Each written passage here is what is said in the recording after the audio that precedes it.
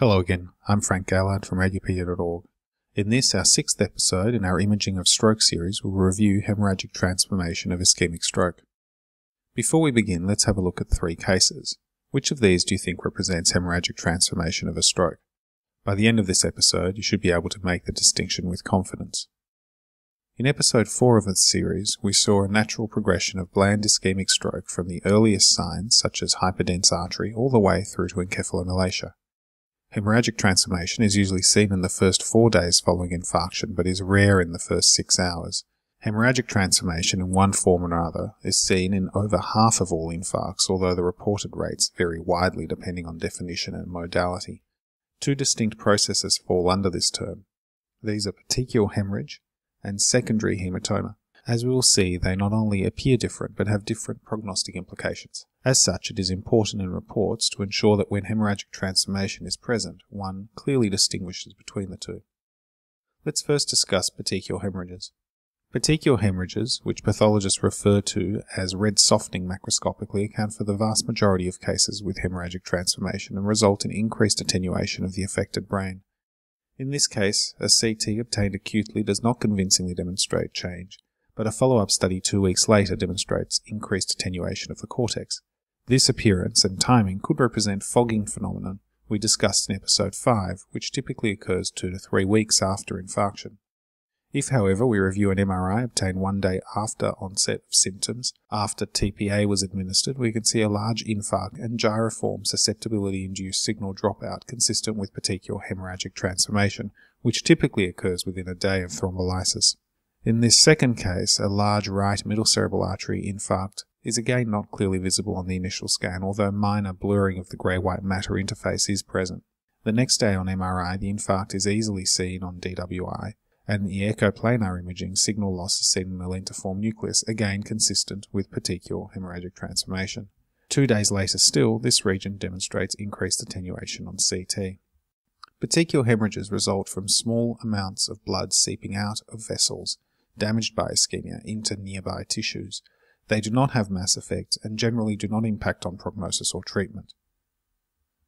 Now on to the far more sinister secondary hematoma. As we have seen, the vast majority of ischemic strokes without interventions undergo progression which does not include secondary hematoma formation. A small minority, say 5%, will however spontaneously hemorrhage, and only a subset of these are symptomatic.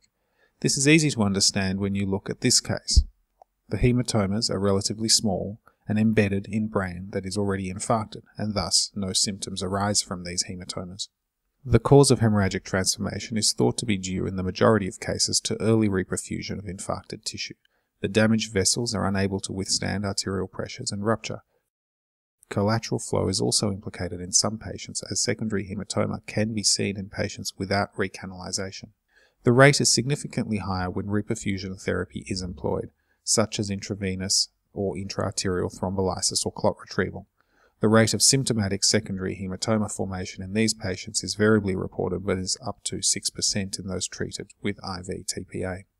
The importance of hemorrhagic transformation with hematoma formation is that it is associated with a much poorer outcome. This is particularly troublesome in the context of active reperfusion therapy, as in the process of trying to improve outcome, one can inadvertently make the patient much worse. As a result, a great deal of research into acute stroke management has been focused on trying to accurately select the subgroup of patients who will get the most benefit from therapy and are at the lowest risk of hemorrhagic transformation. We will cover this in some detail in our final episode in this series. Secondary hematomas tend to occur spontaneously within the first four days after infarction, but are rare in the first six hours and typically occur within a day after reperfusion therapy. In most cases, the diagnosis is obvious. The fact that the patient had a previous ischemic stroke is either written on the request card or is evident from the CT scan, as is the case here, where a day earlier the patient had a hyperdense MCA sign, a distal M1 occlusion, and a perfusion defect. Some difficulty can occur when the first study is obtained sometime after onset of symptoms, at which time hemorrhage is already present. If this was the first CT you had available to you, one needs to decide whether this represents lobar hemorrhage or hemorrhagic transformation. Although this is a straightforward example, it illustrates many of the features typical of secondary hematomas. There is nothing particular about the hematomas themselves, although they are usually multifocal. The key to the diagnosis is the surrounding brain. In most cases, one can see evidence of an established but non-hemorrhagic component, which conforms to an expected vascular territory. The cortex is involved as well as the white matter, indicating cytotoxic rather than vasogenic edema. So looking at our three cases, you can see that case A has these features. There is a region of cytotoxic edema involving most of the MCA territory but sparing the PCA territory. Hemorrhage accounts for only part of the abnormality. Case B has a large hematoma with only a small amount of vasogenic edema surrounding it. It also seems to involve both the MCA and ACA territory, but no abnormality of the rest of the MCA territory is visible. This represents a primary lobar hemorrhage. Case C is a small circumscribed mass with only some vasogenic edema seen in the adjacent white matter. The adjacent cortex is normal in appearance. This represents a hemorrhagic metastasis.